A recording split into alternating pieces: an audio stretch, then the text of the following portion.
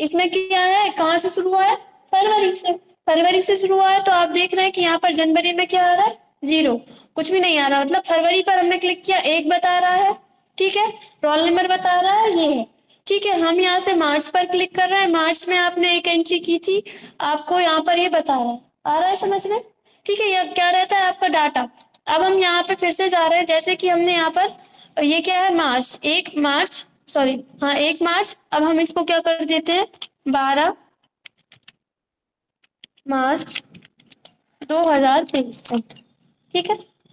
उल्टा ले लिया हाँ। सही लिया ठीक है? इसके बाद हमने इन दोनों को भी सिलेक्ट किया और ड्रैग कर देते हैं। अभी मार्च आ रहा है। ठीक है, अप्रैल उसने नीचे ले लिया है। इसके बाद ये कौन सा नाइन्थ मंथ है? इसकी भी तीन एंट्री है चार एंट्रीज है, ठीक है? अब हम यहाँ से इंसर्ट पर जा रहे हैं पाइवर टेबल पर जा रहे हैं और ओके कर रहे हैं, ठीक है? अब इसके बाद हमने क्या किया? रोल नंबर पर क्लिक किया है और यहाँ से हमने इस पे इनकी जो टोटल टोटल है टोटल पर क्लिक किया ठीक है? ये दोनों यहाँ पर वैल्यूज़ में, इसलिए इस तरह से आ रहे हैं, हम इनको उठाकर रो में रखते हैं, ठीक है? अभी क्लियर है? इतना क्लियर है? ठीक है?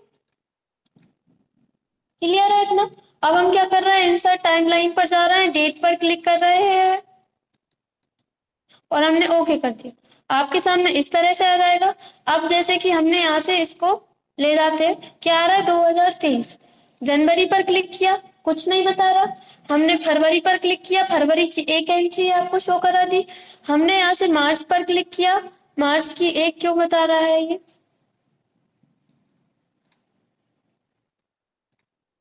शायद उसने, लिया नहीं है, फिर से लेना पड़ेगा अपन को। ठीक है, अपन फिर से लेते हैं। अपन पहले पहले वाली जो टेबल्स बनाई थी ना, उसको डिलीट कर देते हैं। क्योंकि वो पहले वाला ही ले रहा है अभी। डबल से जो अपन ने लिया था ना, वो नहीं ले रहा।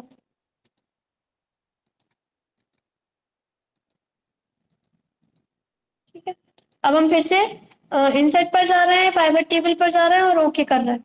ओके करने के बाद आपको इसमें क्या देखना है? रोल नंबर देखना है? रोल नंबर के अकॉर्डिंग आपको जो भी देखना है डेट भी लेना है तो आप जो चाहे वो ले सकते हैं। ठीक है? लेकिन अभी हमने इतना ले लिया, इसको उठाना पड़ेगा, अपन को इसमें लेकर आना पड़ेगा। ठीक है? ऐसे ही रहने देते हैं। इंसर्ट टाइमलाइन पर जाना है डेट पर क्लिक कर रहे हैं ओके कर रहे हैं। इसके बाद हमने यहाँ से देखिए, फरवरी पर क्लिक किया, फरवरी की एक एंट्री बता रहा है। हमने मार्च पर क्लिक किया, बता रहा है मार्च में तीन एंट्री है। इसी तरह से हमने अप्रैल पर क्लिक किया, अप्रैल में एक एंट्री है। मई में कितनी है? मई में, मई की एक भी नहीं है, जून की एक भी नहीं है। अब जुलाई, अगस्त, सितंबर सितंबर पर क्लिक कर रहे हैं। देखिए, सितंबर की तीन बता रहा है। इस तरह से भी आप अपने डाटा को सॉर्ट करके देख सकते हैं। आया समझ में? आपने देखा होगा कई जगह पर इस तरह से रहता है। ठीक है क्लियर है? अगर कोई डाउट हो तो बताइए हम और किसी तरीके से समझाने की कोशिश करेंगे, लेकिन आपको समझ में आना चाहिए। आ गया ठीक है तो इस तरह से आप देख सकते हैं। अपना ये कंप्लीट होता है फिल्टर्स वाला। क्लिक हाँ। ज़्यादातर ज़्यादातर ऑप्शन ऐसे ही रहते हैं, ताकि आपको क्या रहता है एक्सेल में मेन काम क्या रहता है? किसी भी डाटा को मतलब बहुत बड़े से बड़ा डाटा आप इसमें बना सकते हो लिस्ट बना सकते हो। तो उस लिस्ट में बहुत सा मतलब अभी तो अपन ने बहुत छोटी लिस्ट बनाई है। उसमें सौ, दो सौ, पाँच सौ एंट्री छह सौ एंट्री और उससे ज़्यादा भी आप एंट्री करोगे। तो कोई भी डाटा आपको फाइंड करने में, देखने में उसका पूरा आपको प्रॉब्लम आएगी। तो आप उसमें फ़िल्टर लगाकर आसानी से देख सकते हैं। फ़िल्टर हटा देंगे, वैसा का वैसा हो जाएगा आपका डाटा हाँ एक्सेल ठीक है एक्सेल में किया जाता है डाटा एंट्री अब इसके बाद अगला है इसमें हाइपरलिंक हाइपरलिंक अपन ने पढ़ा था? क्या होता है हाइपरलिंक आपको आपकी जो, आपका जो भी डाटा है, उससे आपको कोई अदर फ़ाइल फ़ोटो या अदर कोई भी लिंक करना होता है। तो इसके लिए अपन क्या करते हैं, उस पर क्लिक करते हैं हाइपर लिंक पर जाते हैं। हाइपर लिंक पर जाने के बाद इस तरह से आपके सामने डायलॉग बॉक्स आएगा। इस डायलॉग बॉक्स में आप, अभी बता रहे हैं, तीन से साढ़े तीन क्लास वाला फोल्डर सिलेक्ट है। अगर आपको ये, इसमें से कोई डाटा लेना है तो आप ले सकते हैं। नहीं लेना तो आप साइड में ये ड्रॉप डाउन एरो बना हुआ है। आप इस पे क्लिक करेंगे, यहाँ से अपन डी ड्राइव पर क्लिक कर रहे हैं। डी ड्राइव के अंदर या फिर जिस, जो भी आपको इसमें अटैच करना है, आप क्या करेंगे, उसमें जाएँगे। जैसे कि हमारा जो वॉलपेपर का फोल्डर है, वो कहाँ पर है? लोकल डिस्क ई एफ़ में। एफ़ ड्राइव के अंदर है। अपन यहाँ से वॉलपेपर में जा रहे हैं। ठीक है? और यहाँ से हमने कोई सा भी फ़ोटो सिलेक्ट किया और ओके कर दिया। आप देख रहे हैं, आपका इसका कलर क्या हो गया? चेंज हो गया। एम एस वर्ड में अपन कंट्रोल के साथ क्लिक करते थे, तब आता था। लेकिन इसमें आप डायरेक्टली माउस पॉइंटर लेकर जाइए हैंड टूल बन रहा है। आप हैंड टूल से इस पर क्लिक करेंगे डायरेक्टली आपके सामने आपने जो भी इसमें अटैच किया है, वो आपके सामने आ जाएगा। ठीक है? क्लियर है? जब आप किसी हाइपरलिंक को एक बार ओपन कर लेते हैं, उसका कलर चेंज हो जाता है। आप जब इसके ऊपर राइट क्लिक करेंगे, यहाँ से ऑप्शन आता है ओपन हाइपरलिंक आप इससे भी हाइपरलिंक ओपन कर सकते हैं। एडिट हाइपरलिंक पर क्लिक करेंगे तो आप इस हाइपरलिंक को चेंज कर सकते हैं। जैसे कि हम हमने अभी पिक्चर लगाई थी। अब हमने यहाँ पर ये जो बिल वाला जो फॉर्मेट सिलेक्ट है, इस पर हमने क्लिक किया और ओके कर दिया। तो देखिए कलर चेंज हो गया।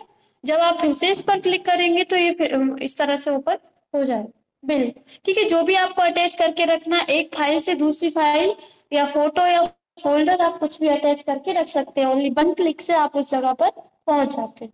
कर लेंगे इतना, ठीक है?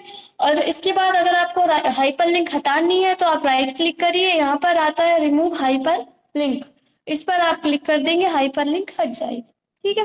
कर लेंगे। हाइपर लिंक वाला अपन ने पहले भी पढ़ा है। और अगर आपको कोई इंटरनेट की कोई वेबसाइट लिंक करके रखनी है हाइपर लिंक का मतलब क्या होता है? लिंक का मतलब क्या होता है? कोई अलग चीज़ आपको लिंक करनी है। तो यहाँ पर हाइपर लिंक का क्या मतलब है? कि आपको कोई भी चीज़ लिंक करनी है तो अपन यहाँ से इंटरनेट की कोई वेबसाइट भी लिंक कर सकते हैं। कैसे कर सकते हैं? जैसे कि हमने यहाँ पर इसको क्लोज राइट क्लिक करके अभी रिफ्रेश कर लेते हैं अपन। जैसे हम गूगल क्रोम पर जा रहे हैं, ठीक है? और यहाँ से हम सेलेक्ट कर रहे हैं। सर्च कर रहे हैं, कुछ भी सर्च कर लेते हैं, जैसे कि अपन ने यहाँ से सीपीसीटी सर्च किया। ठीक है? आप क्या करोगे? यहाँ पे इतना तो सभी को आता है, आप कोई भी चीज़ सर्च करोगे तो आपके सामने आ जाती है। आप क्या चाहते हो कि जब भी आप उस लिंक पर क्लिक करो, आपके सामने आप इस जगह पर पहुँच जाओ, इस वेबसाइट पर पहुँच जाओ। तो आप क्या करेंगे? यहाँ पर ये जो होती है, इसका क्या होता है? एड्रेस बार होती है। आप इस पे क्लिक करेंगे, ठीक है? पूरा इसको सिलेक्ट करके कंट्रोल सी से इसको कॉपी कर लेंगे। इसके बाद आप जाएँगे एक्सेल के अंदर जहाँ पे आपको इसको करना है। जैसे कि मान लीजिए यहाँ पर आप कुछ बताना चाहते हैं, जैसे स्टूडेंट्स को कुछ आप समझा रहे हैं लास्ट में आपने यहाँ पर लिख लिया वेबसाइट कौन सी वेबसाइट पर जाकर क्या आता है? तो आप क्या कर सकते हैं, यहाँ पर हमें लगाना है वो। हमने इसके अंदर लिख दिया, क्या लिख दिया? सीपी सी ठीक है? हम क्या चाहते हैं, इसमें लिंक हो जाए वेबसाइट तो आप हाइपर लिंक पर जाएँगे। नीचे ऑप्शन आ रहा है एड्रेस अभी तक अपन क्या करते थे? सिलेक्ट करते थे। अब अपन को यहाँ से कोई चीज़ सिलेक्ट नहीं करनी। यहाँ पर जाकर एड्रेस की जगह पर अपन कंट्रोल भी कर देंगे पेस्ट कर देंगे और अपन कर देंगे ओके आप देख रहे हैं, इसमें लिंक आ गई है। जब आप इस पर क्लिक करेंगे, हम पहले इसको क्लोज कर देते हैं। ठीक है, देखिए गूगल क्रोम बंद है। अब हम इस पर, इसके ऊपर माउस पॉइंटर लेकर जा रहे हैं क्लिक कर रहे हैं। तो ये कुछ एरर बता रहा है माइक्रोसॉफ्ट एरर सिक्योरिटी बार में।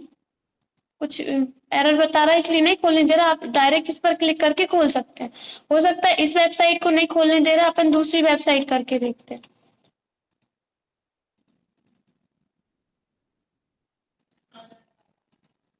अपन अपनी सेंटर के लिए लेते हैं। जो हो सकता है वो वो भी ना ले। इसलिए अपन आईसीआईसी कंप्यूटर सेंटर सर्च कर रहे हैं। अपने सेंटर की भी वेबसाइट है। ठीक है? यहाँ से हम क्या कर रहे हैं? ये वेबसाइट सिलेक्ट कर रहे हैं। कंट्रोल सी मतलब इसका यू आर एल सिलेक्ट कर रहे हैं। कंट्रोल सी से कॉपी करेंगे। और यहाँ पर हम लिख देते हैं, जो भी आपको लिखना है, जैसे कि अपन किसकी वेबसाइट है? आईसीआईसी कंप्यूटर सेंटर की। अपन यहाँ पर लिख देंगे आईसीआईसी कंप्यूटर सेंटर ठीक है? इसके बाद आप इस पर क्लिक करेंगे। हाइपर लिंक पर जाएँगे। यहाँ से एड्रेस में इसको कंट्रोल भी कर देंगे और ओके कर ठीक है? इसके बाद इस पर क्लिक करेंगे ओके अभी वो ले ही नहीं रहा। आप नीचे करके देखना, हो सकता है इसमें नहीं ले रहा। आप नीचे करके देखना, ले लेगा आप ओनली वन क्लिक करेंगे ओपन हो जाएगा। हमने एम एस वर्ड में बताया था, उसमें हो जाता था। तो इस तरह से आप हाइपर लिंक का यूज़ कर सकते हैं। इसके बाद आप यहाँ पर देख रहे हैं text box header footer word art signature line object और ये सब अपन पढ़ चुके हैं एमएस वर्ड में। वही ऑप्शन है आप एक बार करके देख लेना। और कलम बताएँगे, लेकिन फिर भी आप इसको एक बार करके देख लेना, ठीक है? लेकिन पहले, इसके पहले आप ये रिवीजन करना। और इसमें अपन ने क्या पढ़ा था? मार्कशीट मार्कशीट का आप अच्छे से रिवीजन करना बिल का अच्छे से रिवीजन करना, ठीक है? अगर कोई डाउट हो तो पूछना